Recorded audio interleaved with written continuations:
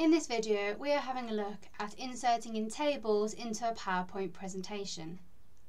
Tables are a good way of displaying information, especially if you're comparing things in PowerPoints.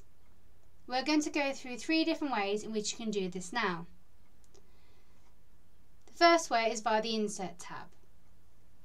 First of all, make sure you are in the title only layout mode on your slide. Then go to the Insert tab and you'll notice on the ribbon there is a Table button. We're going to click on this button and we're going to use this white box option here at the top. You can see that as I'm moving my mouse over these white squares, it is creating a table of a certain size in this presentation.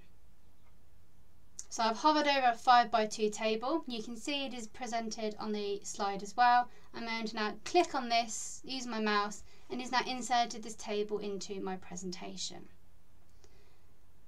From here I can then move this, the table to wherever I want it to be.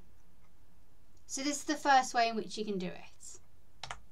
The second way is again by the Insert tab and that same button using that table one, but this time down the bottom we're going to the Insert Table option. Click on that, a pop-up box has appeared where you can type in the number of columns and rows that you want, click OK, and same again, it will insert in the table for you that you can then move around on your screen. So that's the second way in which you can do so. The third way we're going to look at, first of all I'm going to change my layout to a title and content slide. From here we're going to actually now use this content box to insert in a table. You can see there are a number of icons that you can use here. We're going to hover over this one which says insert table, click on that.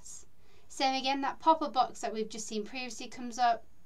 We're going to leave it as five columns, two rows, Click OK and same again, it has now inserted that table in for you. Once you have inserted in your table, you will have extra tabs appear at the top where you can then format your table by changing the colour or the size or adding anything different to the table you've just inserted. So that was just three different ways in which you can insert in a table into a PowerPoint presentation. Hope this has helped you.